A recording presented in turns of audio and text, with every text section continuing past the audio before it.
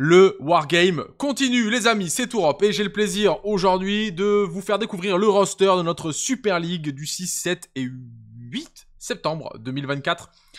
C'est un format maintenant que je vais plus vous présenter, hein, le format compétitif par excellence euh, sur Creative Wargame. C'est euh, c'est vraiment là que bah on va avoir six joueurs au studio pendant trois jours, six listes qui vont s'affronter. On va parler match-up, on va parler matrice, on va parler estimé, on va parler méta. Enfin voilà, c'est un, un grand moment d'échange autour du jeu de manière générale, un moment aussi de bah de euh, de célébration autour de Creative Wargame parce que là en plus j'ai le plaisir dans ce roster de n'aligner que des joueurs team Creative Wargame, donc il n'y a aucun extérieur au groupe de joueurs avec lequel euh, on lit euh, chaque semaine un peu plus bah, des trois liens avec nos échanges de jeux, etc. Donc vraiment le, groupe se fédère et le groupe se construit. Et là on arrive à un petit euh, un petit moment, je trouve, assez sympathique qui va être bah, de se faire rencontrer tout ce nouveau groupe. Pour ceux qui nous suivent un petit peu sur Discord notamment, vous avez le lien dans la description. Euh, J'avais euh, bah, lancé il y a quelques, quelques mois de ça un, un, appel à, un appel à candidature pour les joueurs qui voulaient rejoindre la team. J'ai eu beaucoup de demandes et on a fait une petite sélection. Alors j'ai fait une présélection et surtout après j'ai proposé aux, autres membres de la team, voilà et donc euh, bah, on, on s'est arrêté sur euh, on s'est arrêté sur des profils de joueurs que vous allez découvrir d'ailleurs dans, ce roster. Donc voilà, je suis très content de vous présenter ce format-là pendant tout le week-end. Je serai à l'animation pendant tout le week-end avec aidé euh, sur quelques parties par Vostro notamment et peut-être d'autres parce que parce que bah, c'est toujours aussi cool de proposer un échange avec d'autres joueurs etc. Et et puis voilà, globalement, hein, c'est comme ça que ça va se dérouler, ça va être, ça va être qualitatif. Donc je suis très content, c'est ce que je vous disais, voilà, j'étais un petit peu perdu, un peu emballé. Euh, je suis très content de vous partager ce, ce format-là, je suis très content d'être là euh, tout le week-end avec vous. J'espère que vous allez être nombreux. Ça, c'est vraiment mon, mon, mon attente vis-à-vis -vis de vous, euh, c'est de vous retrouver le plus nombreux possible sur ce format-là, parce qu'on a envie d'échanger avec notre communauté. On a envie d'échanger ce moment-là avec le plus de monde possible euh, parce que bah, plus vous serez nombreux sur le chat à discuter avec nous, à mettre la sauce, à mettre l'ambiance, plus nous, ça va créer une effervescence dans le studio aussi. Donc voilà, mon défi, mon défi, je vous l'annonce pour cette Super League. Euh, c'est de réussir à atteindre les 400 viewers en live. Les gars, c'est l'objectif, c'est 400. On l'a pas encore fait sur la Super League. On l'a déjà fait sur plein d'autres lives hein, précédemment, mais sur la, sur la Super League, on l'a pas fait. Je pense que le timing est très bon. Il y a une effervescence qui s'est fait autour des championnats du monde. Donc la saison, elle commence là dès maintenant. Euh, je pense que tout le monde est chaud. On est à l'orée d'une data balance qui va rééquilibrer un peu le jeu. Donc là, on vient aussi euh, sacraliser trois mois de jeu de manière générale avec euh, bah, le roster que je vais vous présenter dans un instant. Euh, petite modification juste sur le l'utilisation du support de la Super League. Il y a quelques changements qui vont être faits. je vous avais habitué à vous faire avant un une vidéo, un live par partie. Là, en gros, il y aura un live par journée. Alors, il y aura le live du vendredi soir, là où sur le qui n'hébergera qu'une partie. Et après, à partir du samedi, à partir du moment où je lancerai le live le samedi, bah, en gros, le live, il sera en continu pendant toute la journée. Je cutterai pas le live pour euh, passer à la partie suivante. Donc voilà. Et euh, ça, c'est la première chose. Il y aura entre les parties, ça va me permettre aussi, entre les parties, de faire des, micros ouverts. En fait, euh, pendant les parties, pendant que les joueurs vont se sustenter, se déployer, boire un café, il y a souvent 30 minutes à 1 heure de latence entre deux games. Et ben en fait, ce que je vais faire, c'est que je laisserai le setup avec le micro présent. Et quand il y a un joueur qui voudra passer un moment, venir discuter avec le chat, échanger sur sa liste, échanger sur son codex, etc. Voilà, il y aura un, open mic pour, euh, pour les joueurs pendant les temps de latence, ce qui va permettre en vérité de, bah, couvrir le temps entre les parties. Donc c'est voilà, voilà pour ça. Et le, point, important, c'est que euh, les rediffusions de ces formats, de ce format Super League, les gars, ne sera pas disponible en lecture libre sur YouTube. Il ne sera que disponible dans la playlist Prime. Donc en gros, il y a deux options. Soit vous êtes avec nous tout le week-end, et puis évidemment, vous pouvez vous saucer avec nous et, regarder librement euh, sur YouTube. Ce sera bah, complètement libre, euh, voilà. Euh, soit bah, vous n'êtes pas là malheureusement pour le week-end, et il faudra passer par notre playlist Prime avec bah, les différents moyens aujourd'hui qui, vous permettent d'accéder à la playlist Prime. Il y en a beaucoup. J'ai fait en sorte qu'il y ait un maximum de possibilités. Donc déjà, il y a le premier levier qui est le plus simple, c'est en passant par Tipeee. Via un type, vous pouvez avoir accès à la playlist Prime. De toute façon, vous avez tout expliqué dans, dans la page Tipeee. Vous avez aussi par les affiliations MyObi Place. Si vous affiliez vos achats chez Creative Wargame, chez MyObi Place, vous allez sur le Discord de la chaîne. Il y a un salon hashtag affilié, vous avez juste à taper votre numéro de commande et vous recevez la playlist directement sur vos MP. Et enfin, euh, il y a le passage par euh, bah, les achats euh, de nos goodies et notre matériel de jeu. j'ai encore, alors vous m'avez complètement purgé au niveau des, des réglettes, j'ai plus de réglettes à vendre. Voilà, donc ça c'est out of stock. j'ai plus de bundle team avec le t-shirt, les réglettes et les dés. il me reste encore des dés et on va avoir les sets de terrain, sets d'objectifs et les maps qui sont en précommande. Attention, j'ai bien précommande. Elles ne seront livrées qu'en octobre. Donc je suis en quantité limitée là-dessus, mais il y a encore de la marge. Vous pouvez encore commander. Par contre, je mets un disclaimer là-dessus. Elles seront pas elles seront pas livrées véritablement avant octobre. Ça c'est sûr. Donc je veux pas vous faire de faux espoirs. Voilà. Après, vous pouvez euh, tranquillement attendre octobre. Quoi qu'il arrive, si vous précommandez, vous aurez aussi accès à la playlist. Si vous avez acheté vos réglettes, vous avez juste à venir sur le Discord. Et c'est pareil, passez votre numéro de commande, vous aurez accès à la playlist. Et si vous achetez bah, pendant tout le week-end des dés ou quoi, si vous voulez nous saucer et participer activement à la chaîne, c'est pareil, vous aurez accès à la playlist. Voilà, j'ai fait le tour globalement et bah, sans plus attendre, je vais aborder les listes. Vous avez vu juste ici, ce sont les deux dernières vidéos qui ont été rajoutées à la playlist en début de mois. Euh, vous avez le débrief game de Chaos Space Marines Dark Angel. Donc ça, c'est le format, euh, je vous l'avais déjà présenté sur YouTube, hein. c'est un format analytique de, partie euh, qui, qui très très, qui a une véritable pour moi, qui, a beaucoup beaucoup de plus-value sur l'apprentissage du jeu. Donc voilà, il y a Chaos Space Marines contre Dark Angel. Et il y a la méta-analyse où là, bah, en gros, je vous partage sur un podcast de 50 minutes tout ce que j'ai appris de mes parties pendant, euh, pendant ces, ce mois, mois et demi de jeu, euh, à hauteur de, ouais, à hauteur de, de 3-4 games minimum par semaine, et parfois des semaines avec plus, du petit tournoi solo et tout. Donc voilà, j'ai joué beaucoup, beaucoup de choses, et en fait, bah, je vous partage tout ce que j'estime euh, être intéressant à partager sur de la lecture de jeu, de l'analyse, etc. Ça, c'est les deux, les, deux, les deux qui ont été postés là en début de mois. Vous aurez la playlist vous aurez le, les rediffs de la Super League, évidemment, sur la playlist Prime, et vous aurez aussi euh, bientôt euh, les reviews qui vont être faits par les joueurs de la team. Donc euh, il y a la review To qui est là. Il y a un débrief de tournoi de Lucas. Bah, il y a le débrief du War Master de Lucas en cul Gen Stealer. va y avoir la review Sista de Vostro. on devrait avoir la review Custodes de Benji. on va voir pour faire la review Blue Angel avec Kersey. Et puis, et puis voilà, vous allez en avoir d'autres au fur et à mesure. Donc tout ça arrivera dans le mois ou dans les mois qui suivent. La playlist, elle s'agrémente au fur et à mesure. Sachant qu'en plus, on remet une pièce à chaque, on va dire, euh, data balance ou rééquilibrage de jeu, ben, on vous repartage nos visions du jeu, etc., etc. Creative Wargame est avec vous, les amis, et vous accompagne au quotidien dans votre jeu compétitif à Warhammer 40 000. Allez, j'ai assez euh, barboté euh, et gazouillé. On passe aux listes, les gars. Ce roster-là, il est constitué de 6 listes. Euh, c'est un roster qui va jouer sur deux poules, poule A, poule B. 3 joueurs dans la poule A, 3 joueurs dans la poule B. Les joueurs s'affrontent mutuellement, donc que tous les matchs soient faits. Et en gros, le gagnant de la poule A affronte le gagnant de la poule B sur la finale dimanche soir. Dans la poule, euh, alors, euh, Antanora, il est dans la poule B, donc il est avec les Blue Angel et les Thousand Suns. et il joue World Eater, donc il va jouer en gros Karn, un Lord Invocatus, un Master of Execution, 10 Jackal, 2 fois 5 Berkos, 3 Eightbound, 6 Eightbound exaltés, 3 Eightbound exaltés, 3 Eightbound exaltés et 2 fois 2 Chaos Spawn avec un Rhino. Donc euh, évidemment, euh, Karn ira très probablement dans 5 Berserk. Le Master of Execution ira encore très probablement dans 5 autres Berserk. Euh, voilà. Euh, bon, la liste, euh, le World Eater, je pense que maintenant globalement tout le monde le connaît. Je suppose que vous l'avez affronté au moins une fois. moi, j'ai eu l'occasion de l'affronter quelques fois. c'est un codex qui est, qui je pense est, est très fort. C'est pas un top codex, mais c'est un codex qui est très fort, très agressif. Euh, et qui peut être très embêtant pour, euh, pour beaucoup d'armées qui sont pas capables de, de, tanker en fait. Euh, donc, donc voilà, c'est un codex qui est très intéressant aussi en termes de gameplay, un index pardon, qui est très intéressant en termes de gameplay parce que vous allez très facilement pouvoir aller chercher de l'advance charge, du bonus de mouvement, du taper en mourant et, et des, un bonus de feel no pain. avec la petite particularité que vous pouvez faire revenir en gros au corps en combat dans la bataille une fois qu'il est mort. Donc vous avez quand même beaucoup euh, d'options de jeu. Euh, la liste est très bonne. Après, le, seul problème, c'est qu'on est sur un format index qui est un petit peu euh, pauvre en datasheet. Donc globalement, bah, tout le monde joue un petit peu les mêmes choses avec des petits ajustements. Mais on retrouve euh, très souvent ces entrées-là. Après, des fois, il y a plus de d'exalté, moins de berserk. Euh, voilà, ça dépend véritablement des, euh, des on va dire des, sensibilités des joueurs et de comment ils déroulent leur gameplay. c'est une, une, très bonne liste. Le seul, la seule, il y a une optimisation. J'ai oublié de mettre le 1 optimisation.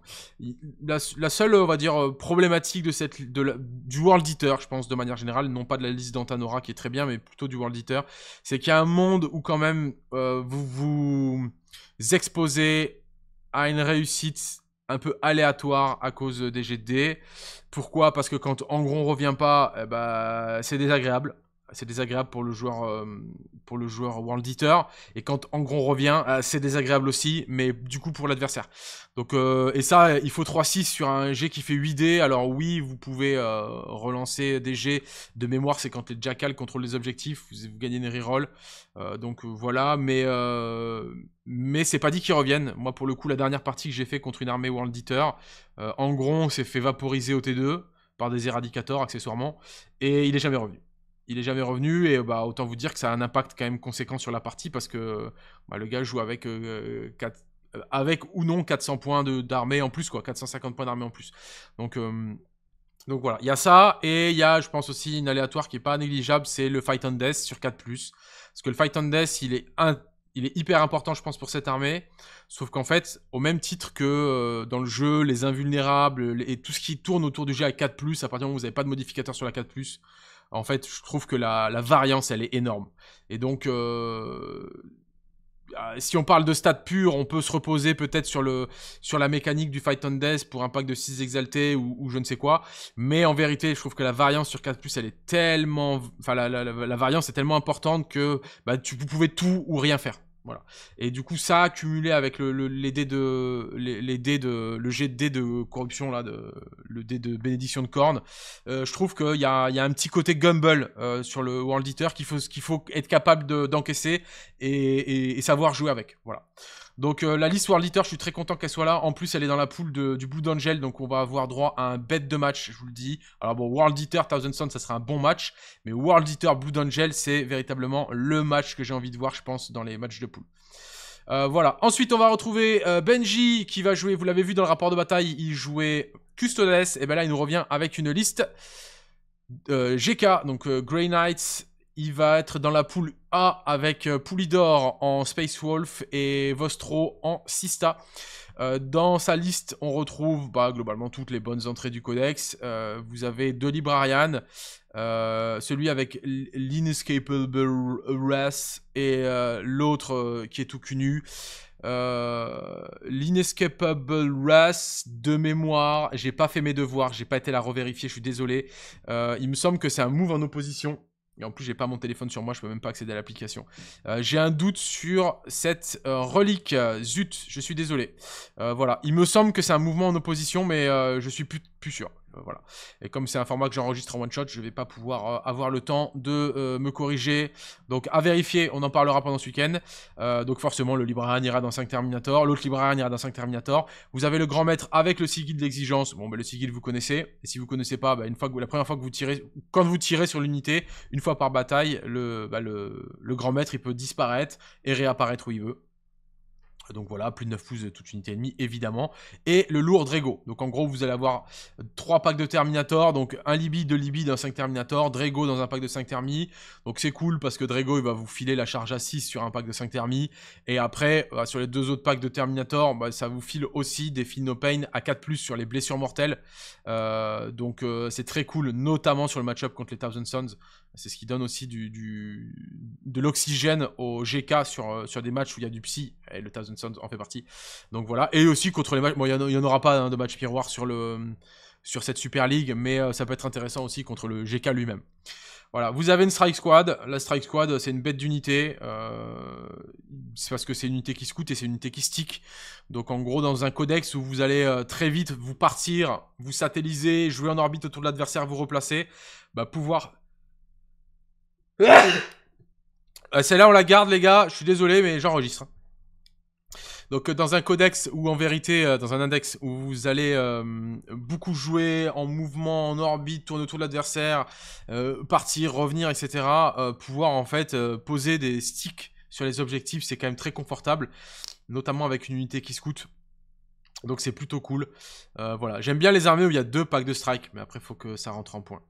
Euh, voilà. Et ensuite vous avez trois Dread Knight euh, Nemesis. Bon, on n'en parle pas, les Dread Knight Nemesis sont excessivement fortes.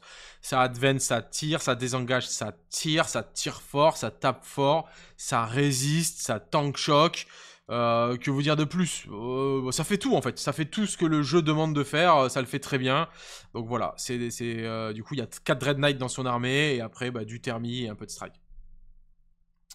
C'est une liste, encore une fois, je, rebondirai de la même façon que j'ai rebondi sur le codex World Eater.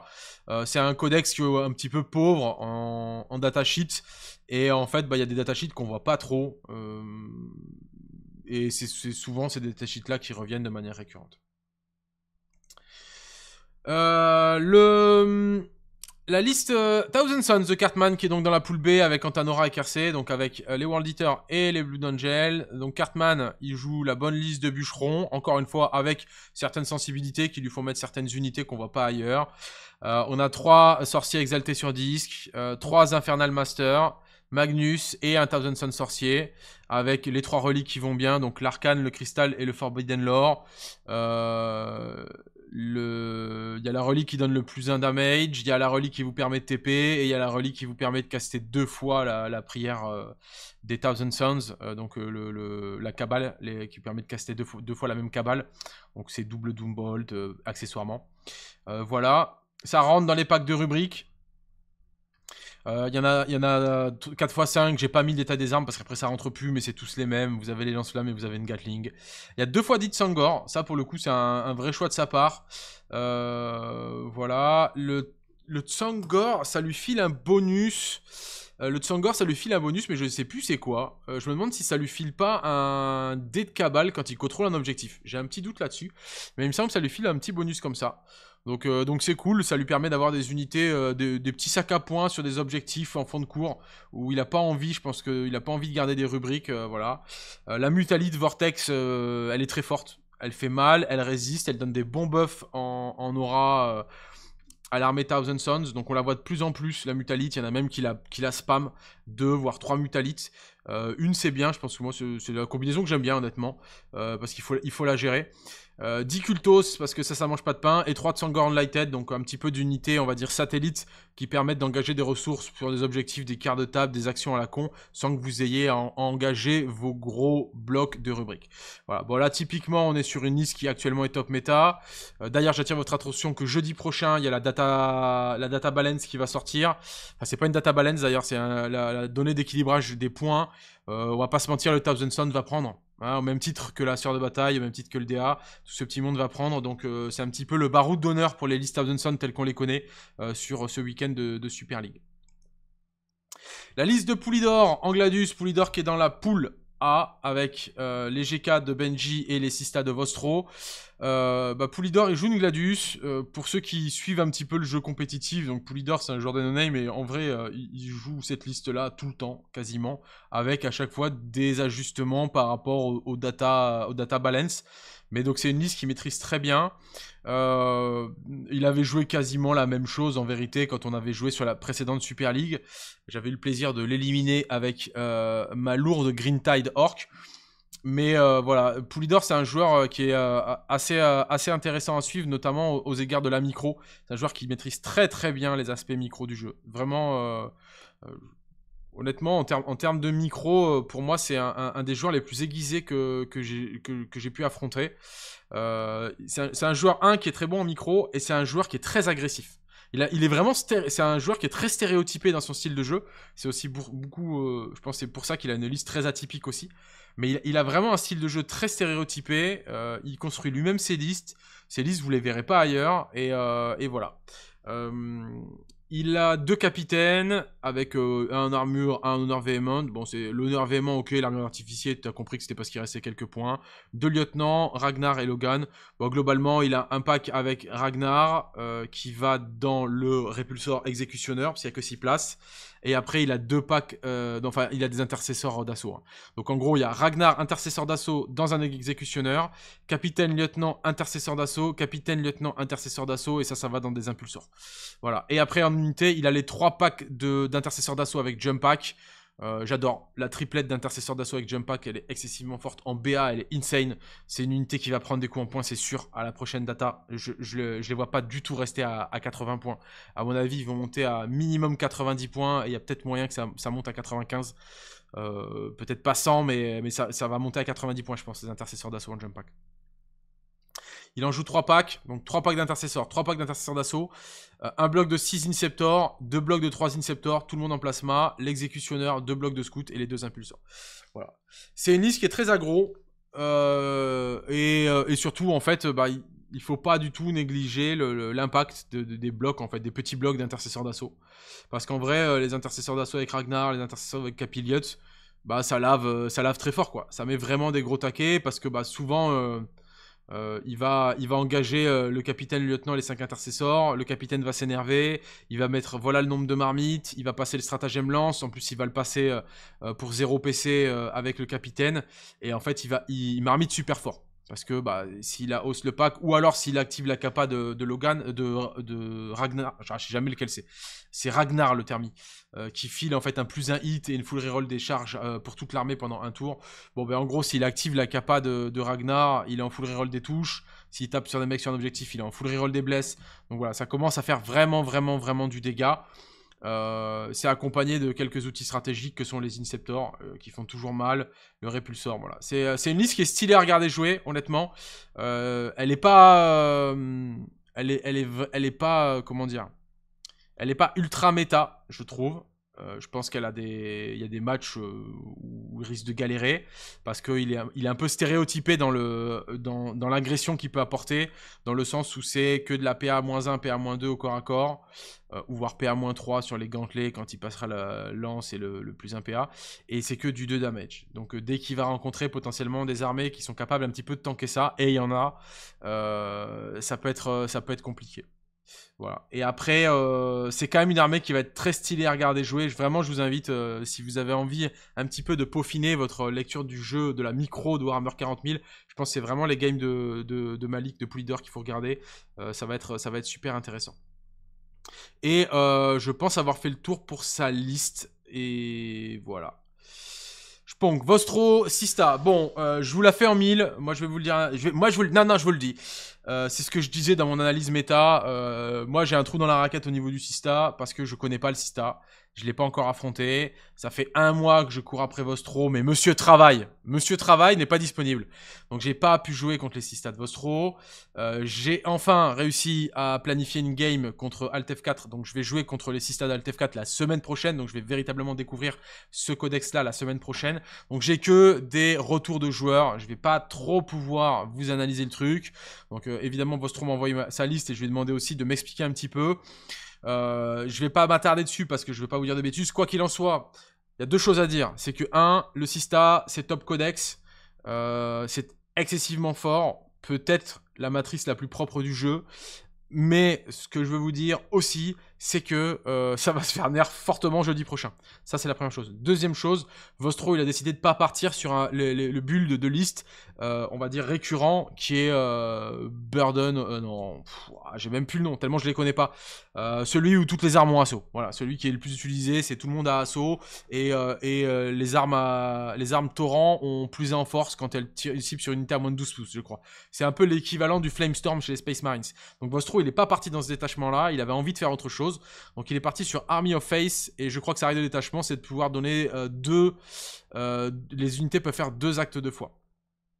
Voilà. En gros, ce qu'il faut savoir sur la Sista, c'est que c'est excessivement létal, excessivement stable via le système de dés de miracle. Je pense que les dés de miracle, c'est la meilleure règle d'armée actuellement du jeu. Dans toutes les règles d'armée euh, euh, confondues. Je veux dire, Space Marine, vous avez le House of Moment. Euh, voilà. World Eater, vous avez les bénédictions de cornes. GK, vous êtes content d'être heureux. vous avez le. GK d'ailleurs, la, la, règle de détachement, c'est Advance pour tout le monde. Et. Non, la règle d'armée. Je sais même plus c'est quoi la règle d'armée GK. La règle de détachement, c'est c'est l'équivalent de l'hypercrypt, donc c'est le fait de faire pouvoir partir des unités. Donc la règle d'armée, ça serait euh, que toutes les, les, advances sont des 6 autos. Bon, enfin bref. Quoi qu'il en soit, je trouve que l'Adepta Sororita, c'est la meilleure règle d'armée euh, du jeu, avec ses fucking dés de miracle. Parce qu'en gros, à votre tour, le gars prend un dé de miracle. À son tour, le gars prend un dé de miracle. Il vous tue une unité, il prend des miracles. Vous lui tuez une unité, il prend des miracles. Le triomphe lui fait pop des dés de miracle. Euh, Morvenval lui fait pop des dés de miracle. c'est imbuvable. Donc en fait, le gars a un pool de dés. Et en gros, ce pool de dés, et donc à chaque fois, il jette le dé, et en gros, il garde la valeur du dé, et il peut l'activer via un acte de foi sur n'importe quelle unité. Donc en gros, par exemple, quand il vous salve vos fuseurs, euh, il peut dire, ok, bah, le damage, fuck, fuck les dés, je passe, j'ai fait un 4, un 5 ou un 6, je passe celui-ci automatiquement. Je fais des damage, euh, voilà. Euh, les invus, voilà, bah, j'ai Morvenval qui en a vu 4+, ça tombe bien, j'ai un 4+, dans ma truc, j'ai pas besoin de faire un jet de sauvegarde, je mets ma 4+, un vu. Euh, voilà, j'ai des charges, ok, je vais te faire charger mes Repentia, bah, j'ai un 6 dans mes dés, ok, je prends un 6, j'ai déjà 6 sur un des, un des 2d6 à la charge avec mes Repentia. Donc voilà, et ça en fait, ça stabilise énormément l'armée en fait, parce que bah, même sur un Overwatch, vous avez un 6 dans vos dés de miracle. Bon, ben voilà. Euh, j'ai Marvel Val qui Overwatch. Euh, j'utilise, j'ai déjà un 6. Euh, elle Overwatch hyper fort. Donc vous jetez les dés. Vous allez potentiellement craquer un autre 6. Si vous avez des rerolls, peut-être encore un. Enfin voilà, c'est insupportable. C'est insupportable. C'est insupportable. Donc, donc la règle, la règle de d'armée est excessivement forte. ça, c'est mon avis. je vous dirais que de ce que j'ai compris véritablement de, de, la, de la Sista, je pense que la Sista aujourd'hui, elle est, euh, c'est une plaie pour toutes les armées à connotation défensive. Donc on va dire les armées qui, euh, qui sont un petit peu dans la, dans l'attente et la réaction vont se faire complètement éteindre par euh, l'armée Sista. Alors je pense par exemple, moi je joue Dark Angel, honnêtement je me vois pas très bien contre le Dark Angel. et il y a plein d'autres armées en fait qui, si elles doivent attendre pour, pour agresser, c'est mort. Euh, donc, euh, donc voilà, et, du coup, euh, les armées contre qui l'Adepta Sororita va être en difficulté, pour moi, ça va être la Space Wolf Stormlands, par exemple. Ou alors, quand vous allez envoyer 18 packs de loups en full advance et charge, vous êtes dans T1, vous êtes dans son groin. Là, là, je pense que la Sistal vit très très mal. les armées très agressives, comme les Blue Angel. Euh, je pense que c'est pareil, euh, la, Sista n'aime pas trop. Je pense que la Sista n'aime pas du tout se faire agresser parce qu'elle est très très violente, elle a énormément de mobilité, donc très vite elle peut venir vous chercher, aller au-delà des, des, occultants, des décors, etc. pour venir choper vos lignes de vue, mettre en œuvre tous les outils stratégiques, les dés de miracle, je t'envoie du fuseur, je t'envoie du lance-flamme, euh, j'ai euh, mon... Euh, je te tire dessus, l'immolateur il t'enlève le couvert, le castigator te rajoute de la PA, je t'avoine la gueule, j'ai aucun scrupule. Voilà, ça la Sista le fait très bien. Par contre, quand vous commencez à l'agresser, bon ben la Sista, elle, elle aime pas trop. En ce qui concerne l'armée, euh, de Vostro, vous avez deux Canoines, deux Dialogus, Morvenval, Triomphe de Sainte-Catherine. Bon, ben, les Canoines, Morvenval, Triomphe, vous les voyez dans toutes les listes. Euh, Morvenval, elle est insane. Le Triomphe, il est insane. Et euh, les Canoines, vous avez une reroll. Vous avez une reroll des As à la touche, je crois. Et, et vous avez les petites reliques qui vont bien. Et les Dialogus, je sais pas trop comment il les joue, j'avoue. Euh, parce qu'en plus de mettre dans la sauce Vostro, il m'a changé deux trois trucs à la dernière minute sur la liste et du coup je sais pas à quoi ça sert. Et comme je connais pas le codex, voilà. Ça me permet de faire un petite, euh, une petite parenthèse. En fait, ce qui me met dans la sauce par rapport à ça, c'est que j'ai pas l'index, j'ai pas le codex Sista parce que je suis pas joueur Sista. Un codex ça coûte 45 balles et, du coup je me vois pas aller acheter le codex pour euh, le peu de temps que je vais m'en servir. Voilà. Et du coup j'ai pas le codex sur l'application. Je passe un petit message je passe un petit message, les gars. Si vous avez des codes de codex dont vous ne vous servez pas sur l'application, n'hésitez pas à me les envoyer en MP sur Discord. Je suis preneur parce que bah euh, j'ai pas le budget illimité pour la chaîne, donc euh, évidemment tous les codex des armées que je joue, je les achète. Comme ça, j'ai tout sur l'application. Par contre, par exemple, bah, j'ai pas Sista, j'ai pas le Euh, j'ai pas le SMC, j'ai pas l'agent Imperium. donc, euh, donc voilà, si vous ne vous servez pas de vos codes, n'hésitez pas à me les balancer en MP. Euh, je me ferai un plaisir et, honnêtement, ça sera très très utile pour moi parce que bah, du coup, ça me fait une application sur laquelle je peux me reposer quand je fais des analyses de méta, quand je fais plein de choses. Voilà. Euh, et ensuite, en termes d'unité, on retrouve un immolator, donc ça c'est le transport. Donc lui, quand il tire sur une unité, il lui enlève, euh, quand il touche une unité, il lui enlève son unité après, a plus le bénéfice du couvert. Rhino, les deux castigators. 10 euh, Célestian Sacré Saints, donc c'est bah, l'unité un petit peu tank, hein, qui va être rejoint par une canonesse. 10 Dominions, alors dans les 10 Dominions, il y a 4 fuseurs. 3 euh, Paragons Warsuit qui seront rejoints par Morvenval, 10 Repentia, Sacré Tributor, 2 x 5, 2 x 5 Séraphim. Euh, voilà, bon, il a, plein d'outils dans sa main. Franchement, euh, je vais pas, vais pas m'épancher plus longtemps que ça parce que je, je maîtrise pas les tenants, les aboutissants de cette liste. Mais en tout cas, une chose est sûre, c'est que Vostro va nous saucer avec pendant tout le week-end. En plus, ce sera des lourdes Sista viol, rose. Donc voilà, à ne pas manquer, évidemment. Et enfin, la dernière liste, les gars, c'est ma préférée du roster. Je vais pas vous mentir, c'est ma préférée du roster. Avec le lourd Kersey euh, qui arrive avec ses Blue Angel. Et le gars, il joue Codex. Donc euh, on va jouer le Codex Blue Angel. Alors euh, on joue les coups en pointe du Codex. c'est comme ça, on n'a pas le choix en vrai.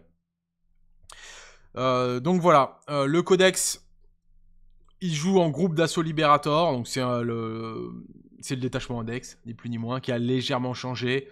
En gros, sur le détachement index, il a perdu le potentiel fight on death et il a gagné euh, l'advance et charge. Euh, il gagne aussi accessoirement un fight first. Et donc euh, ça, c'est quand même pas rien. la liste est excellente. La liste est vraiment très très forte. Il joue deux capitaines. un qui a le sustain hit 3, donc touche soutenu 3 sur ses attaques, et l'autre qui donne le fight first. Donc en gros, euh, le Fight First, il va dans le pack de 10 intercesseurs d'assaut. Et en gros, vous avez un pack de 10 intercesseurs d'assaut avec capitaine prêtre sanguinéen. Donc en gros, le pack, il est en Fight First. Il est en Pain à 5. Et surtout, il est très très énervé. Parce que les 10 intercesseurs d'assaut en charge, sans compter les personnages, ça vous balance, ça vous balance 50 parpaings force 6 euh, voilà. Et puis, euh, avec tous les bonus de l'infini, c'est imbuvable. C'est vraiment imbuvable. Donc, euh, le, pack de 10 intercesseurs avec le capitaine qui leur file le fight first, mais ben, en gros, vous pouvez pas le charger. Et, si vous n'êtes pas capable de le tanker, ça va vous dévaster la gueule. Voilà. Ensuite, il a la célérité du Primark, donc c'est le capitaine qui s'énerve. Alors le capitaine qui s'énerve euh, et qui fait des, touches soutenues 3+, ben en gros ça veut dire que le capitaine, le, tour où il s'énerve, il est à hum, il est à 8 attaques qui touche soutenu 3, donc euh, c'est très très fort. Euh, c'est très très fort, ça va dans 5 intercesseurs d'assaut, ça, va, ça va vite, ça tape, très fort. On retrouve un petit peu hein, de, de la Gladius de Poulidor dans cette liste là mais avec des outils qui seront ceux des Blue Angel donc c'est pas tout à fait pas tout à fait la même chose. Ça tape beaucoup plus fort euh, mais euh, mais par contre euh, il y, aura un séquençage des unités qui ne sera pas la même parce que là où la Gladius peut passer tout le monde en advance et charge le, Blue Angel peut passer qu'un pack et il est à pied. Donc en gros il va falloir séquencer pour pour l'arrivée de ces unités Asterat, Astoras, pardon, les Martes et la Calidus. La Calidus, je vous ai fait un super trick dessus pour vous expliquer euh, l'intérêt de cette unité, qui est juste excellente. Euh, et les Martes, eh ben, ils n'ont pas changé. Astorat, il est devenu une scène parce que maintenant, toute la partie, il file Devaound à son pack. Donc, il va dans 10 Death Company. Donc, en fait, euh, ça, revient à dire que les, il a une létalité de Porcas dans, dans le pack de 10 Death Company qui est déjà Porcas de base. Et après, vous avez les Martes qui va dans 10 Death Company. Donc, en fait, il a il a vraiment trois grosses enclumes, les 10 intercesseurs d'assaut avec le capitaine en Fight First, et les 2 x 10 Death Company Pack en Jump Pack. Euh, les, Death Company en Jump Pack avec l'Advance et Charge, c'est quand même sale. Honnêtement, c'est très très sale. Euh, il joue 3 x 5 intercesseurs d'assaut en jump pack qui sont excessivement forts en Blood Angel parce que plus 2 en force, plus une attaque. Donc eux, ils, lavent, ils peuvent vraiment laver les trucs. Il joue 5 scouts, 5 infiltrators, 1 Predator Ball, 1 Repulsor. Euh, globalement, globalement, ce que je pense, c'est que euh, bah, sur les matchs où les matchs qui mettent en difficulté, ça va être vraiment les armées qui sont capables de, de l'attendrir avant qu'il arrive au close. parce que je pense que au corps à corps, dans le trade et dans un match de corps à corps, je pense que tous les matchs sont en sa faveur. Euh, je vois pas de match, je vois pas trop de matchs en sa défaveur, euh, mais euh, pour, moi cette liste roule sur tous les matchs de corps à corps. Donc contre le World Eater, ça va être un très bon match. Et j'aurais plutôt tendance à le mettre en positif pour le Blue Angel parce qu'il a des outils que il a des outils que que que le World Eater n'a pas. Par contre, il y a un X, c'est que dans sa poule, il y a les Thousand Suns. Et je pense que les Thousand Suns peuvent lui faire très mal. Alors en plus, il y a deux choses. C'est que Kersey maîtrise très très bien la liste Blue Angel. Ça fait très longtemps qu'il la joue. Alors il la joue en format index, mais là, il va la jouer en format codex mais c'est globalement les mêmes mécaniques. Il maîtrise très très bien cette liste-là. Et Cartman, il maîtrise très très bien le Thousand Sun. Vous l'avez vu contre Benji, il jouait en taux, c'est un codex qui venait juste de prendre, donc il n'était pas encore bien rodé. Thousand Suns, Cartman, ça fait un moment qu'il le drive, donc on va avoir un match bien aiguisé, ça c'est super intéressant. Je mettrai d'ailleurs dans la balance euh, qu'il y a une partie qui s'est jouée au studio que vous n'avez jamais vue, qui s'est jouée entre Kersey et Cartman. Cartman jouait Thousand Suns et Kersey jouait Blue Angel, mais à l'époque de... Euh... Non, il jouait Black Templar d'ailleurs, mais à l'époque de la, de la full véhicule, de l'Iron Storm. Et il y a eu un match insane, qui s'est gagné à deux points près, mais il y a eu un match insane. Je vous dirai en live qui est-ce qui a gagné la partie. Quoi qu'il en soit, ce match-là, Kersey contre Cartman, je veux absolument voir ce match. Euh, donc euh, ça va être trop cool. Ça va être vraiment vraiment trop cool. C'est le match de 14h euh, samedi. Et par contre, ça va être, je pense que c'est un match difficile pour, le BA. Voilà. Et, et on a fait le tour. On a fait le tour du roster. Donc voilà les amis, on vous attend nombreux sur, sur cette Super League. Comme je vous disais, honnêtement, dans la poule A, euh, la poule A, c'est intéressant parce qu'on a plutôt trois joueurs vétérans euh, qui ont décidé de, jouer des listes qui sont pas trop méta, entre guillemets, pas trop méta. C'est-à-dire que Vostro, il a fait le choix de pas prendre le bull de Porcas euh, Sista. Poulidor, il joue sa liste Gladius, qui est pas la meilleure des Gladius, je pense. Et, et Benji, il est parti sur un codex qui joue pas toujours et qui, je pense, aujourd'hui, est pas dans le et puis vraiment dans le, dans le top, euh, top 3, top 5 des codex. Donc, on a nos trois vétérans qui vont se tuer au, skill. Qui vont se tuer au skill. Et ça va être euh, trois beaux matchs, je pense. J'aurais potentiellement tendance à dire que euh, la 6... Je pense que la Sista, le Sista GK. mais que la Sista peut galérer sur la Gladius de Poulidor. Peut-être. Parce que comme je vous disais sur la présentation de la Sista, je pense que la Sista, elle est sensible aux, armées qui l'agressent. Et il se trouve que Malik, c'est un joueur très agressif, avec une armée très agressive.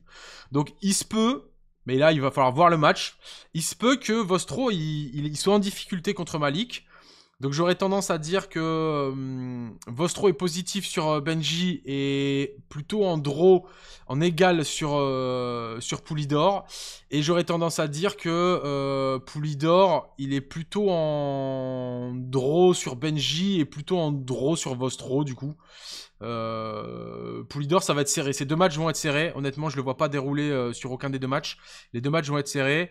Et, euh, pour Benji, je pense qu'il va avoir un match serré contre Malik, mais je pense contre Vostro, c'est compliqué. À mon avis, euh, à mon avis, Sista, Sista contre GK, voilà, je, je suis pas sûr que Benji arrive à se dépatouiller de ce match. Mais après, Benji, c'est aussi, aussi un très bon joueur, donc on va avoir un bon match. Donc à mon avis, poule A, ça va être très serré. Honnêtement, poule A, ça va être très serré, ça va se jouer à pas grand chose. La poule B, on a quand même, euh, le, je pense sur le papier, le Thousand Sun qui est, qui est, on va dire, euh, je pense, euh, pas privilégié, mais j'ai pas le mot. des fois, je perds mes mots, c'est comme ça. Quand je parle tout seul dans une caméra pendant 40 minutes, je perds mes mots. C'est tout à fait normal. Bref. Euh, en, vrai, ce que je vous disais, c'était que euh, je pense que le Thousand Suns, euh, il, est plutôt. il a pas de match difficile, je pense. il, a, pas. Les, les, deux matchs vont se jouer. Les deux matchs vont jouer. Mais je pense que voilà, c'est lui qui a les estimés les plus positifs parce que je pense qu'il est en léger positif sur le Blue Angel et je pense qu'il est en léger positif sur le World Eater. Je pense pas que le World Eater gère le Thousand. Euh, mais après, il y a une composante, c'est que bah, le style World Eater euh, a le T1, si le World Eater a les bons, a les bons, à l'ébonger très rapidement, à son advance et charge, son bonus de mouvement, etc. ça peut vite, la, vapeur peut tourner quand même. Je pense sur le, World Eater TS, je pense qu'il y a, y a quand même un, un potentiel à craquage sur ce match. Donc ça, c'est assez intéressant. Euh, voilà. Et après, euh, Blue Angel World Eater, je mettrais euh, plutôt favorable au Blue Angel avec, avec aussi un potentiel craquage. Mais ça va être un bête de match. Ça, ça va être très très cool. Et, et voilà. Donc j'aurais plutôt tendance à dire que sur l'estimé, ce serait Cartman qui serait plutôt devant. Mais il, peut se faire, il peut se faire douiller par, par Kersey. Et Antanora peut toujours créer la surprise, mais euh, je pense que c'est pas pas la meilleure poule pour lui pour, euh, pour s'exprimer. Euh, potentiellement contre, contre des armées un peu, moins, violentes, il, aurait pu tirer son épingle du jeu plus facilement. Mais là, en gros, on, le met dans la sauce, Antanora. En même temps, il est titulaire d'un Golden Ticket, il faut commencer. Hein. Le mec qui va à Atlanta dans quelques semaines, il faut qu'il commence à se mettre dans le dur. Euh, et, voilà. Bah, j'ai fait le tour, les gars. J'ai fait le tour de tout ce que je voulais vous dire, la présentation des listes. J'espère que le format vous a plu. Je pense que oui, c'est un format qui vous plaît. Comme d'habitude, si ça vous plaît, vous mettez le petit like, le petit commentaire. N'hésitez pas à partager. Et euh, bah, on se retrouve. Alors, si vous regardez la vidéo quand elle est publiée euh, ce soir, mercredi 4 septembre à 18h, à partir de 18h, je serai peut-être un peu en retard. À partir de 18h, je serai en live sur YouTube pour torpiller Space Marines 2, les gars, c'est énorme. J'ai reçu un exemplaire euh, reviewer de Space Marines 2, ce qui m'a permis bah, de jouer au jeu déjà. Et euh, ce soir, je vais tabasser du lourd Xenos. Ça va être très très gaulerie. J'annonce, ça va être très très gaulerie. Donc si vous avez envie de passer un petit moment avec moi sur Space Marines 2, euh, attaque de Spormine. Euh, bah, n'hésitez pas, ça se passera ce soir, voilà. Et si vous regardez la rediff, bah, vous pouvez checker la rediff. ok. Et puis quoi qu'il en soit, je vous retrouve dès vendredi soir 19h pour le premier match de notre Super League. GK Benji contre euh, Gladius Poulidor. Allez, ciao ciao les amis, à très bientôt pour une nouvelle vidéo sur Creative Wargame.